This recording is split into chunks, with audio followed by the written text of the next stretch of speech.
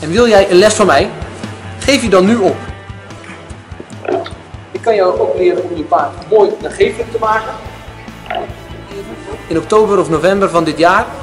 En iedereen mag meedoen. Kom jij ook?